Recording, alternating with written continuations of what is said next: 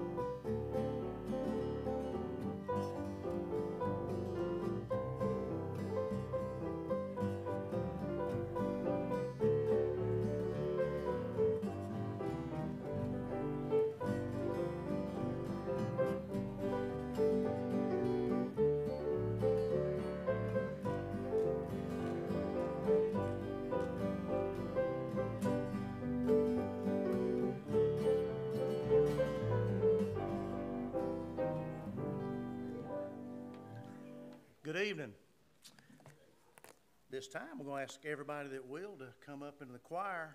And uh, Wavery had told me this evening, uh, he said, he said, uh, we need to stand a little closer to the microphones. And I said, well, I've got a solution to that. Um, so if I can get about 20 people that don't even sing to get in the back, force everybody that sings in the front. Uh, so if you want to come up and stand, if you want to come up and sing, come on up. We're going to sing out of the Black Book.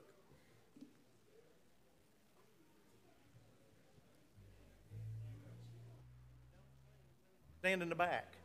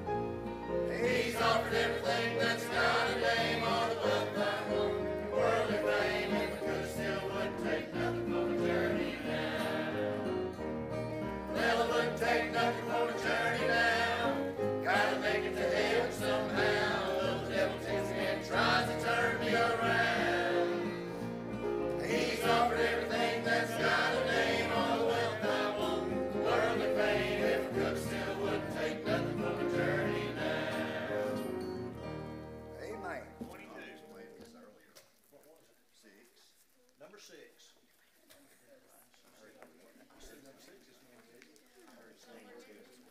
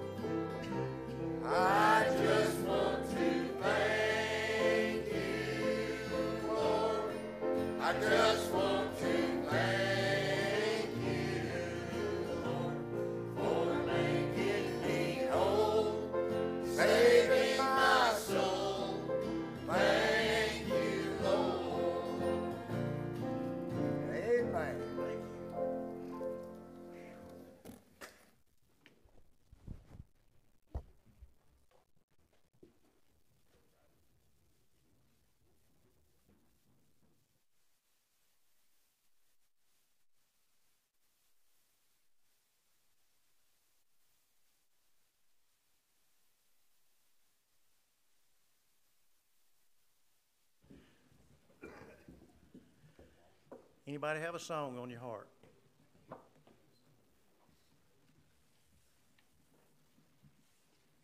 Not, I want to thank choir for coming up and singing. Appreciate that. Um, This time I'm going to ask Dylan if he would uh, take us, Lord, in prayer. Lord, just thanks so much for allowing us to be here tonight, Lord. And we just ask you, Lord, that you'll let your Holy Spirit come down, Lord, and bring the word to kill, Lord. And we just thank you, Lord, for just giving us the Savior here, Lord. We just ask you, Lord, we could be so many other places right now watching the Super Bowl, but we're here worshiping you, Lord. And we're just so thankful for your presence here tonight already. And we just ask you, Lord, to do this keeps. In our prayer. Amen. Super Bowl today.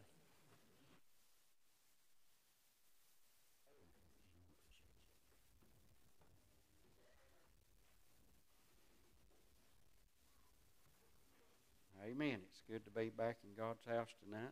Appreciate each one of coming out and being with us tonight. If you got your Bibles, turn with me over to Genesis chapter 37. Genesis chapter 37. I, I believe this is a good word. It'll be a, encouragement to every one of us, I believe. And I thank God for His Word and things that He showed me, and and probably other people have seen this a lot of times, but I, I thank Him for what He showed me, and it's an encouragement to me. But uh, how many has ever noticed that a lot of things that happen in our life are not good? Probably a lot of people's noticed that. Many things come our way that are not necessarily good, and a lot of things come our way that are really bad, right?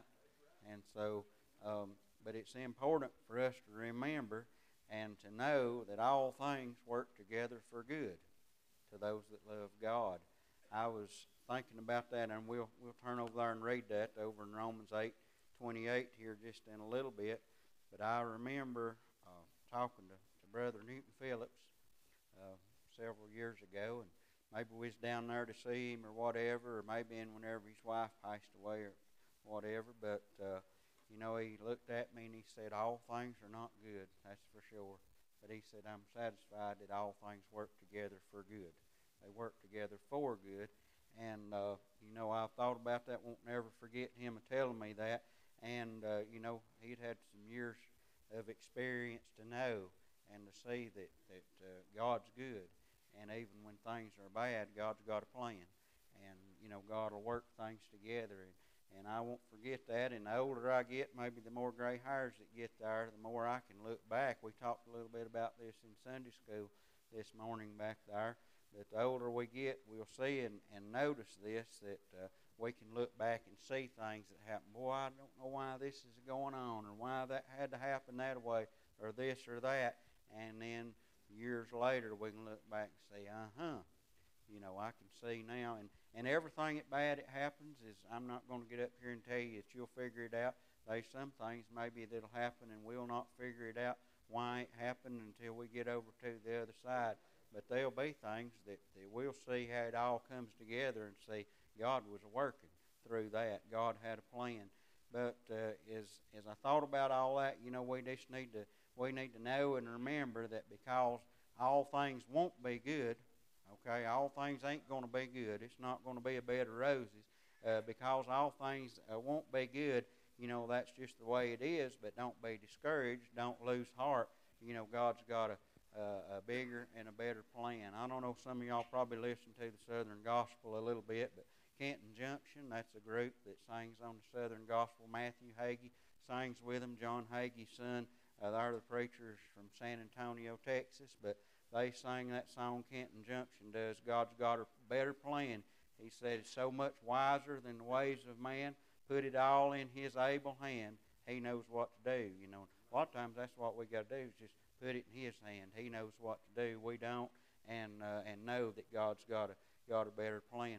But there's no better uh, story in the Bible, and we can see that through God's Word. Things that happened that was bad and and then God turned it around to work out good. We can probably see things in our lives that come our way and happen, and, and we can look back and say, God worked that out for good. I can tell that for sure. every one of us, but there's no better story maybe in the Bible than the story of Joseph over in Genesis chapter 37 and, and some following chapters. You know, if you want to turn with me and read there, and we won't read it all. Um, you know, I really don't know what I will read of this story. I may just tell you a lot, but uh, you know, Joseph, he was he was one of the twelve sons of Jacob, and you know, God had a plan. If you can't read this and see that God had a plan, uh, then you need to slow down and read it again. I'll just say that. Uh, but God had a plan, and He had a plan to to create a bunch of people, His people, the children of Israel, and this was all part of the plan. But if we'll look back and, and study and read, you know, Jacob had the 12 sons, and, and um, you know, it wasn't no secret. Joseph was the favorite. That was just the way it was. Joseph was the favorite, and, and you know, when there's a pet out of the family, he, he became uh, the enemy of the other sons. How about that? Not the little one, you know. The, the little son wasn't. He was hadn't come along yet, the latest one there. But uh, the other ten brothers, they pretty much hated Joseph because he was the pet. But Joseph, uh, he was connected with God, I believe, and Joseph seen things that God give him. Yeah, Joseph had dreams. Some of his dreams he might have been better off keeping to himself for a while. Uh, and some of those dreams that he explained and shared with his brothers and his mom and dad brought some of the problems maybe on him. But uh, they didn't help him gain no more favor with those ten brothers. I'll just put it that way. But it says that that Joseph's brothers, their their um, their I guess enmity against him turned into hatred, and uh, and and there one day we would read and study that that his brothers took him, and some of them had in mind of killing him. They had in mind of killing Joseph, and and uh, one of the brothers, uh, maybe Reuben, he he didn't want to go that far. Uh, matter of fact, he'd have just seemed to, he maybe wanted to see Joseph suffer a little, but he didn't want to see him killed, maybe. And and uh, so let's just throw him in a pit. Let's throw him in a pit. Let's don't kill him. They're way away from home, and we'll see that they throw Joseph in a pit. And long story short, they decided not to kill him. Uh, we would remember this. They decided not to kill him, but they said, uh, "There comes a bunch from Egypt. Let's just sell him. Let's sell him to the Ishmaelites." And and and you know, uh, one thing we get rid of him. Second thing, we get a little profit out of it. You know, he's gone. We never have to see him again. Uh, you know, we wanted rid of him, but this way, at least we won't have to kill him. So, certain ones of those brothers, you say that's a terrible thing. It was a terrible thing. I don't see nothing good about it. Do you? It is an awful thing. Joseph was uh, a, a good feller, and and then his brothers do this to him, and it was an awful bad thing. But it happened. Okay. And as we read uh, down through there, they come along there. They bought Joseph. They took him off uh, down there to Egypt. He became a slave. And, and you can go back and read it if you want to. And I want us to remember this tonight. All the bad things that happened to Joseph, you can look back over there and, and look, and it'll say, and God was with him. Okay? And God was with him. So, so I want to thank tonight and, and make you think and remember too, and this is a side note tonight, but when them bad things come our way, and we can look back and say, boy, that was bad, that was right. But God was with us. But God was with us when them bad things come. We'll have to say that, I believe. We'll have to look back and say God was with us. As we go on over through here, we would study and we would read in chapter 39 of the book of Genesis, we'd see that, that God was with Joseph. He was still down there as a slave, but it said that he was brought into a fellow's house named Potiphar. And you say, boy, things is looking up. He gained position in Potiphar's house there in Egypt. Potiphar was an officer of Pharaoh, and uh, you know, kind of getting on pretty high up in the in the in the ranks there. He became a slave, let's say a servant there in the house of Potiphar down there in Egypt. Uh, still not at home, still a slave, still not free, but God was with him, and you'll notice that everywhere Joseph was at, God blessed him. He prospered. Okay, we can read that in God's Word and uh, still not good, but looking up. How about that? Things is looking up, and he was there in Potiphar's house, and uh, and and he was a servant for a while, and then he was put in charge of this, then he was put in charge of that, and then before you know it, it said that Potiphar put him in charge of everything. He was in charge of the whole household. it said that a lot of things Potiphar didn't even know because Joseph took care of it, okay? And that was going real good. And you say, boy, God's really working good right there. And then, boom, Potiphar's wife uh, maybe falls in love or falls in lust with Joseph. She decides she needs to have Joseph, and and uh, and and uh, what a what a bad deal that is. And and Joseph said, I can't do that. He said that'd be sinning against God. I'm not going to have no part of that. And it just kept on and on, and the temptation come on and on. And finally, one day, her and Joseph was the only ones in the house. And she said, Here you go now. And he said, Oh, no, we don't. And he fled, left her holding his jacket or coat in his hand right there. And you say, Oh, man, that's a, that's a bad thing. It was a bad thing because she went right and said, Look, this coat, this Egyptian, or this is, is, Israelite feller, this slave, he's come in here and tried to force himself on me, made up an awful lie on Joseph. And you say, Boy, that's terrible. That's awful. It's something like that. He was trying to do what was right. Have you ever noticed? We talked about this a little bit back in Sunday school this morning. Sometimes when you try to do what's right, you think, I'll try to do what's right, and then everything will be good and easy. Sometimes you do what's right, and it may get harder. Okay? Joseph did what was right. He said, I'm not going to sin against God. You know what it got him? Throw it into prison. Throw it into prison. Because who's Potiphar going to believe? Uh, this slave, this servant, he's a good feller. He's in charge of everything, but he's going to believe his wife, right? Uh, he's not going to let think that she was lying about this because it would have made her look even worse. He said, That rascal, we'll throw him in prison. It said they throwed him in prison, but not just any prison. Folks, God's got a bigger plan, all right? Not just any prison did he throw him into, but he throwed him into a prison that said was for Pharaoh's uh, uh, uh, people it was, was bad in Pharaoh's eyes, a prison for, for Pharaoh's prisoners. A certain spot he was put. You know, this is just the way it is. God worked that out.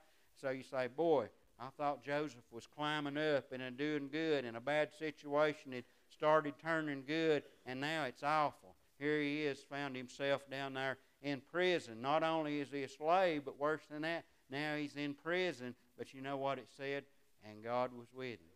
God was with him. It wasn't long after uh, he was thrown into prison there, he began finding favor in, in the prison there. And wouldn't you know it, he was put in charge of the whole jail right there. Pretty much put in charge.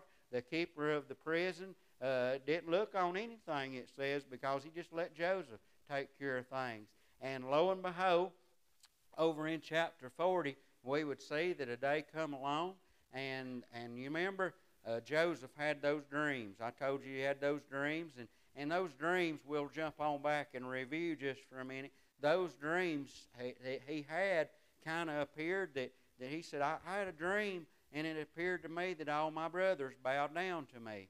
And then he had another dream, and he said, It appeared to me in that dream that, uh, that my father and mother bowed down to me. And that was some dreams that kind of got him where he's at. Because, like I say, he told it, and they said, that Ray, you know, it just ate him alive that he would even mention them bowing down to him. Well, those dreams continued on as we got over in, into chapter 40 right here. Uh, and not only did Joseph have dreams and have the interpretations for him, but other people could have dreams, and Joseph could interpret those dreams. You know, God was with him.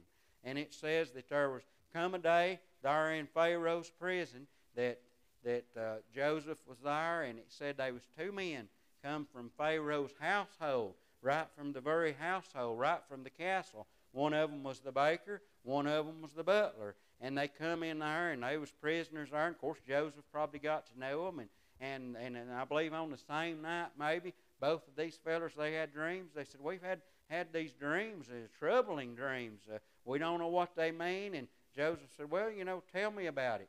Maybe I can figure it out, tell you what's going on. Well, long story short, they had these dreams, and Joseph told him, he said, Well, well, to the, I believe it was to the baker, he said, You know, you've got this dream. Looks to me like in a few days, Pharaoh's going to uh, have you took out of prison, take you out of jail, and, and have you hanged.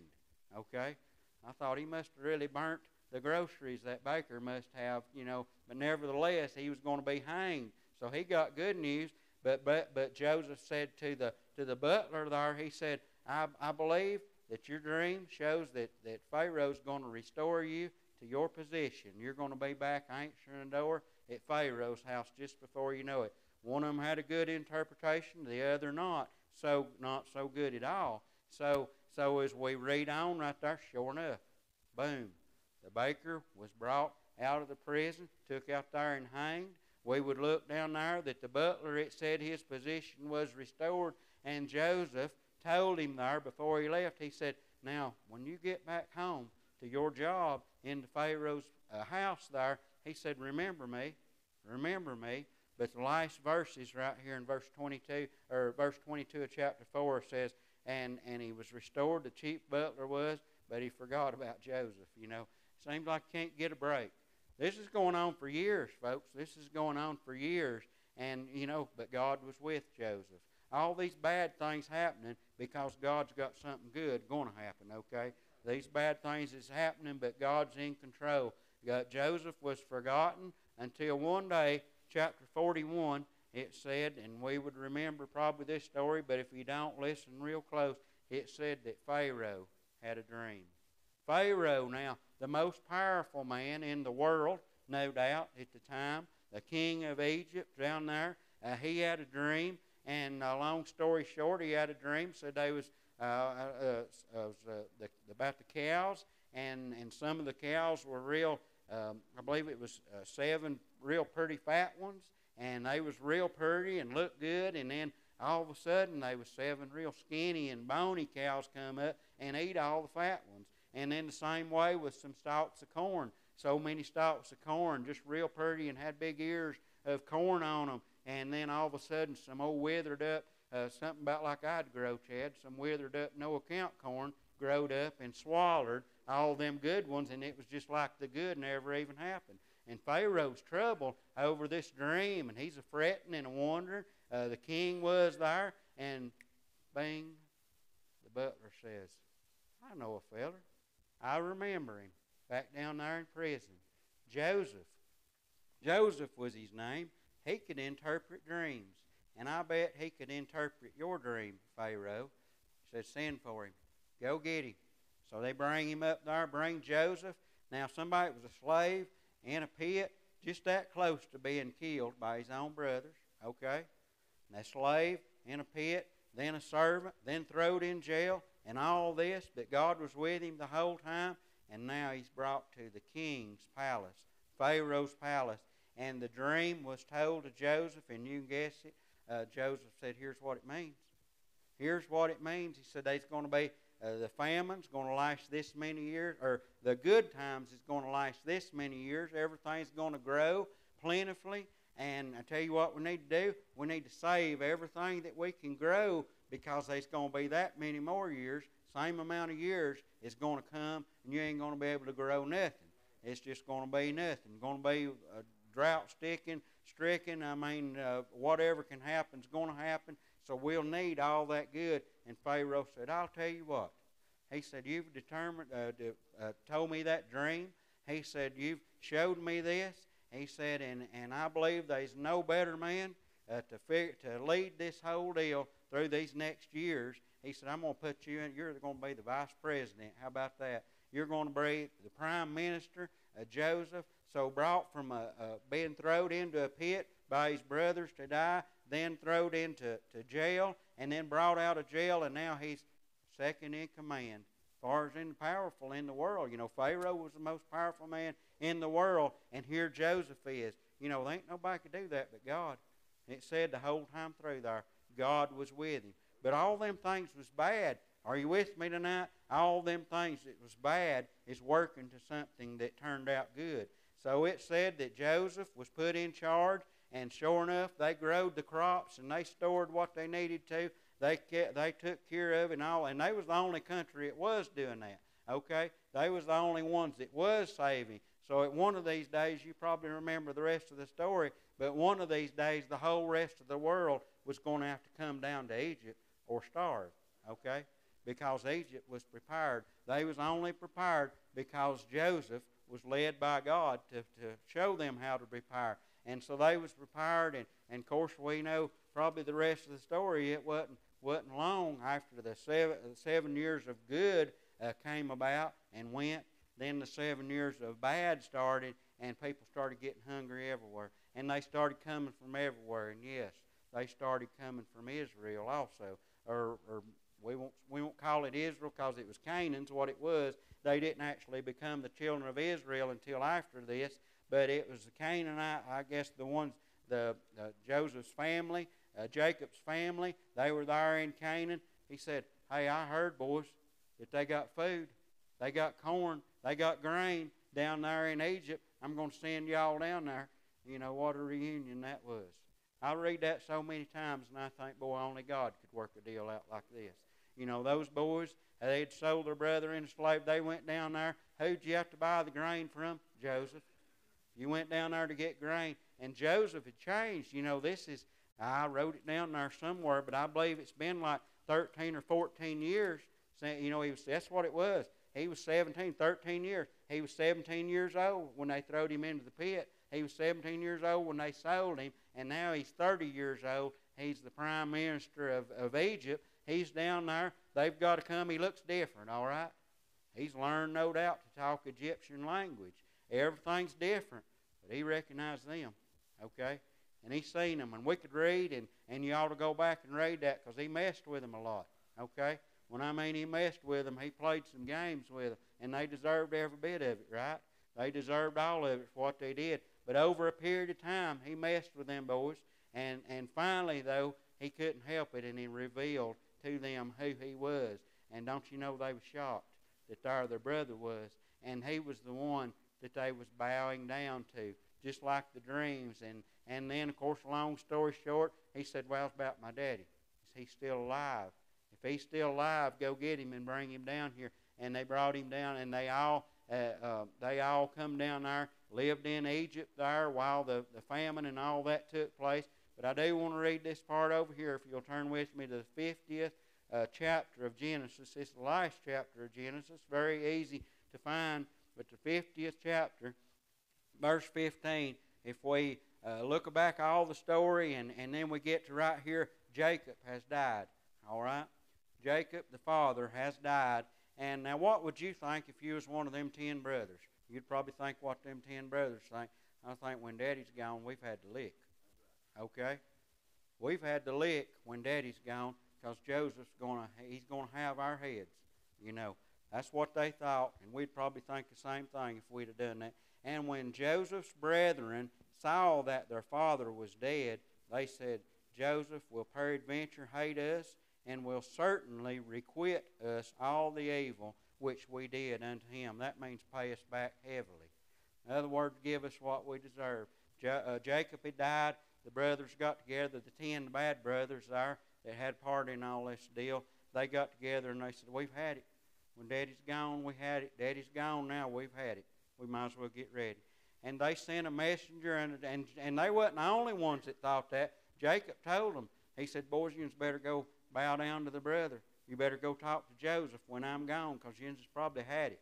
You've probably had it. And they sent a messenger unto Joseph saying, Thy father did command before he died, saying, So shall ye say unto Joseph, Forgive, I pray thee now, the trespass of thy brethren and their sin, for they did unto thee evil. And now we pray thee, forgive the trespass of the servants of God, of of the God of thy father. And Joseph wept when they spake unto him. Joseph's better feller than they was. Okay, he's better feller probably than I am. I'd I'd have probably been uh, uh, maybe maybe I maybe I'd have been satisfied with messing with him and getting getting even with him with the things he did. But you know we'd still that, that was a pretty hard pill to swallow. But Joseph was a man of God. Joseph uh, God was with him. Joseph wept when they told him that. They said, "Daddy, Daddy said you'd have us."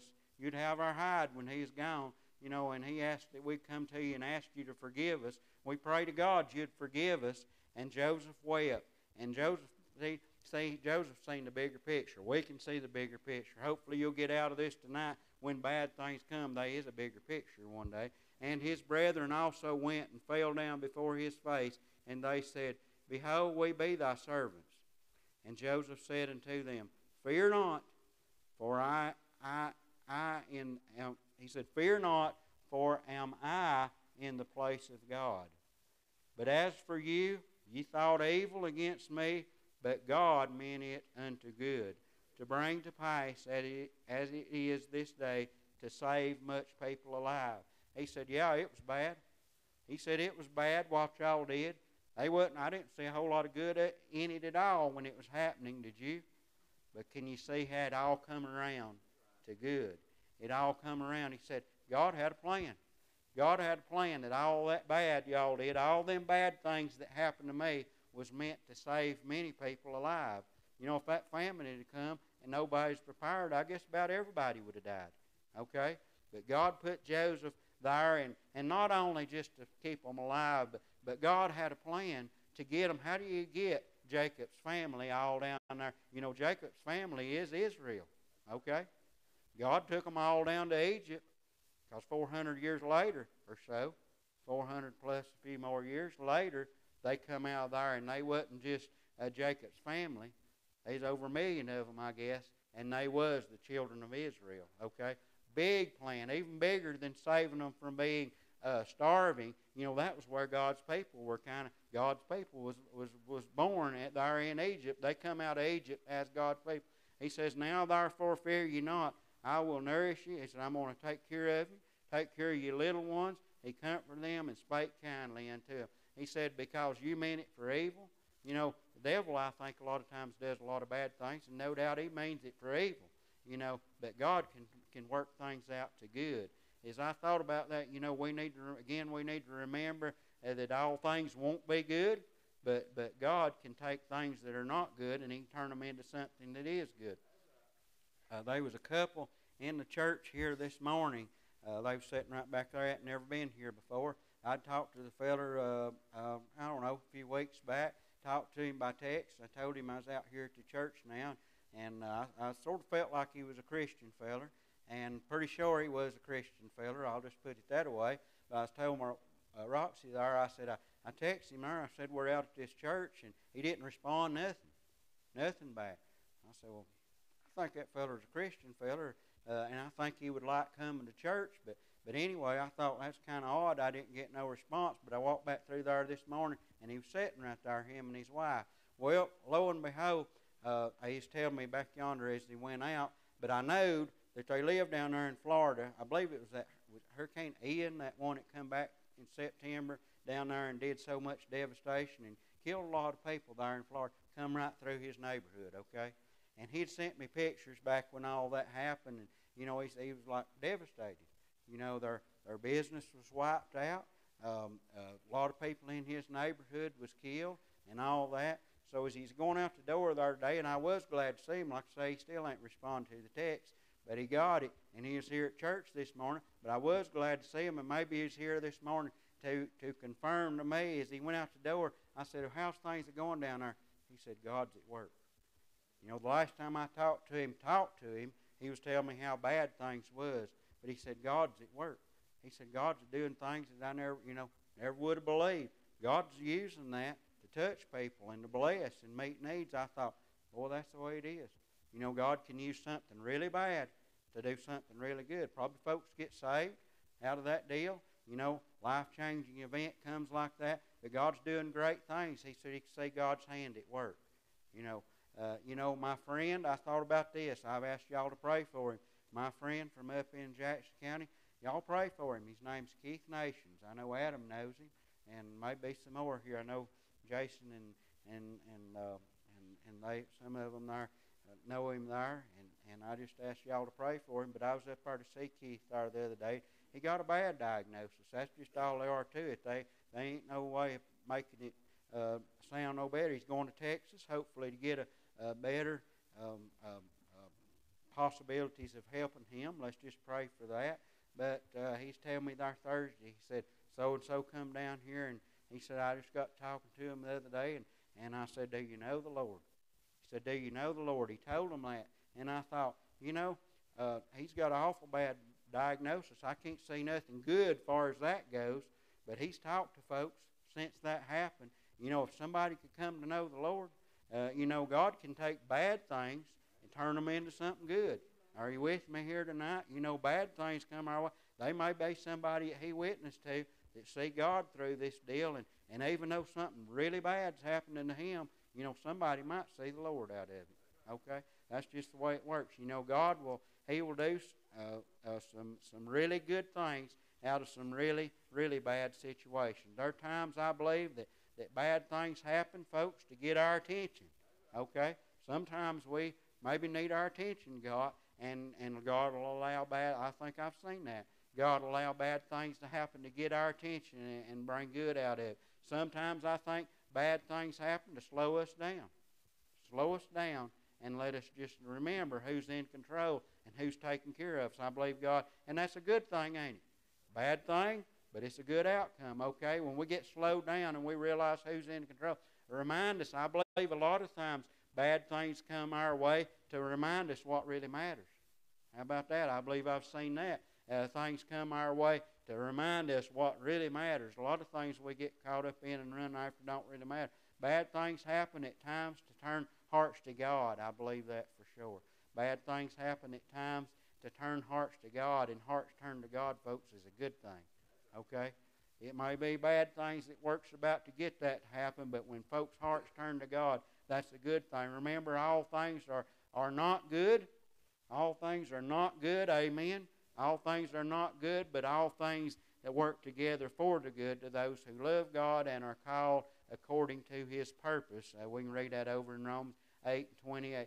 Also, when things are not good, you know, uh, remember that. Don't forget what it said all through them times. When it got worse and worse for Joseph, it said, and God was with him.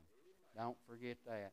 But I hope that be help to you tonight. I'm going to ask Renata to come maybe get a verse of a song. Maybe you need encouragement tonight in some way or another. Maybe something's going on you just don't know. Well, folks, a lot of times we don't know. Most of the time we don't know. But we're going to see the bigger picture one of these days, and God's got a plan. God's got a plan, and God's doing great things, I believe. And uh, and and we never know what God's going to use bad things to turn out to be something really good. I'm going to ask you to stand. You may want to come pray for somebody here tonight. May pray for yourself there, some discouragement in your life. Maybe you look back and you see something that happened over the years and you say, Boy, God had it. He had it the whole time. And I just want to come and thank Him tonight because He had it. He knew what He was doing uh, because that helped me in my walk with God, helped me to grow closer to God. And I just want to come thank Him that God's in control. Don't know your heart tonight, but there might be something you want to come to this altar and pray about here. And it's open right now, and, and you ought to come and talk to God. No one knows what the Lord foresees, but I know He knows what's best for me in His time. Oh, in His time, there's victory for me.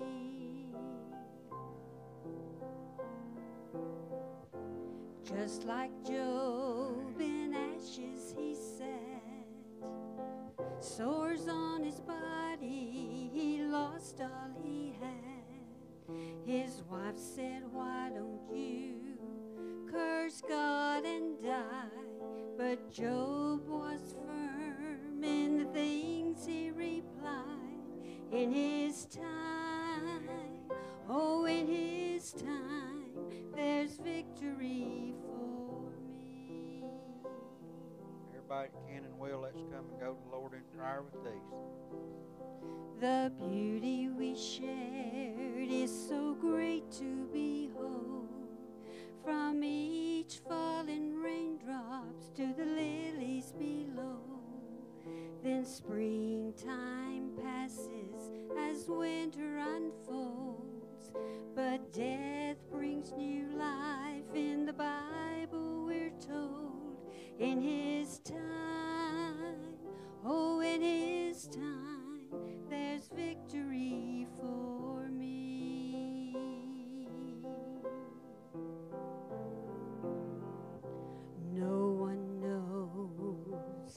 what the Lord foresees, but I know He knows what's best for me in His time. Oh, in His time, there's victory for me.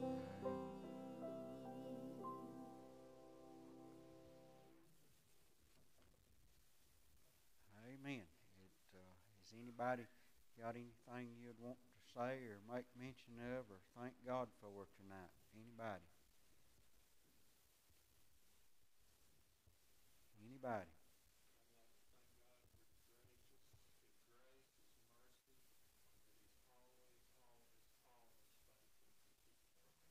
Amen. Praise the Lord. Amen. Anybody else?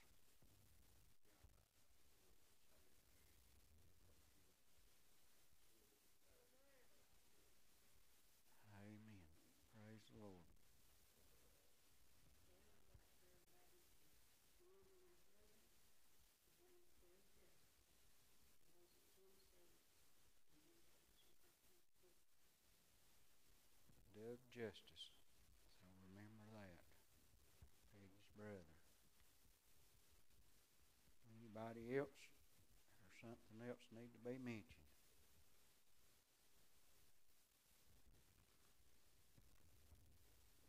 Nothing else. I appreciate you being here tonight. Thank God for you. And I hope and pray you've got something out of this word tonight. If nothing else to be said, I'm going to ask Shiloh if he'll dismiss us in prayer, and I'll catch you at the back corner door.